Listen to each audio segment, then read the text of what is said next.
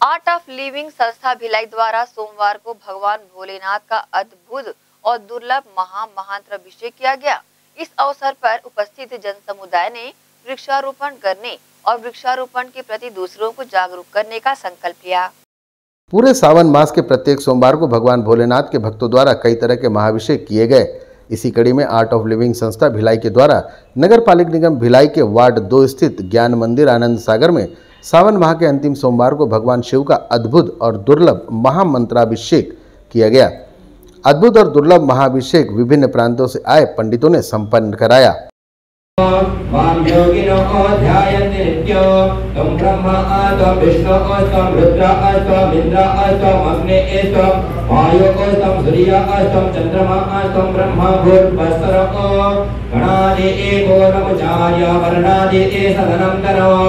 मनो आरापरतरः अरदे परतरः तारे एण रुद्धो एतत्तपवनस्य रूपो नकारः छन्दः श्रीमहागणपते देवता।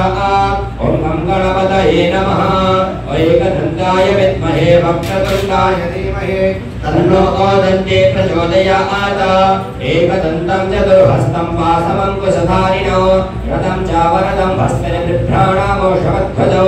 रक्तं लम्बोदरं सूर्पकर्णकरक्तवाससो रक्तागन्धानुलिप्तं रक्तपुष्पे सुपूजितो सावन माह के अंतिम सोमवार को आयोजित हुए इस अद्भुत आयोजन में उपस्थित आर्ट ऑफ़ लिविंग संस्था भिलाई के सदस्यों एवं अन्य श्रद्धालुओं द्वारा सावन महीने को देखते हुए महावृक्षारोपण करने का और दूसरों को वृक्षारोपण के प्रति जागरूक करने का संकल्प भगवान भोलेनाथ के समक्ष लिया गया।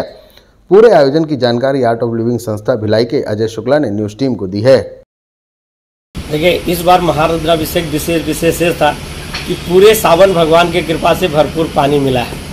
माना कि अन्य प्रांतों प्रांतों में, उत्तर के भारत प्रांतों में पानी नहीं है, कि हमारा छत्तीसगढ़ भरपूर पानी मिल रहा है, और पाव जो सावन की जो फुहार पड़ रही बहुत आनंददायक हो रहा है। और इस बार हमारे आर्ट ऑफ़ लिविंग जो रुद्राभिषेक था, उसमें विशेषता यह थी कि साउथ से, उड़ीसा से, बेंगलोर से पंडित जी लोग आए थे।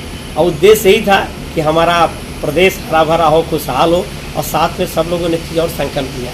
ये प्रकृति का भगवान शंकर प्रकृति के देवता है। अब प्रकृति जो है वृक्ष से चलता है। तो हम सब लोगों ने वृक्षारोपण रोपण का भी संकल्प लिया है। क्योंकि वृक्ष होगा तो पानी होगा पानी होगा नदी होगा पूरा जीवन वृक्षों के तहत चलता है। इसलिए हम लोगों ने वृक्ष लगाना है और वृक्ष बचाना है इसका संकल्प लिया है। तो कहाँ लगाएँगे ये वृक्ष? कैसे लगाएँगे? बहुत अच्छा सवाल किया कहाँ लगाएँगे? पहले तो शासन प्रशासन कई जगह वृक्ष लगाए उसे हम बचाने का प्रयास करेंगे। दूसरा हम हर घर में जा करके वृक्ष देंगे और वृक्ष दे करके उनको ये बोल रहे हैं अपने वरिष्ठों के नाम, अपने जो बुज़ुर्ग हैं, उनके नाम, या दादा दादी के नाम, किसी के नाम से वृक्ष लगाओ, अब नाती से लगवाओ, बच्चे से लगाओ लगा करके वृक्ष करो ताकि उसको बड़ा करो। साथ में हम उनको ट्री गार्ड भी दे रहे वैसे तो पूरा सावन महीना ही भगवान भोलेनाथ की भक्ति का होता है, परंतु इस महीने के सोमवार का अपना एक अलग महत्व होता है, और इस दिन भगवान भोलेनाथ का अभिषेक करने से इच्छा पूर्ति का वरदान भी प्राप्त होता है।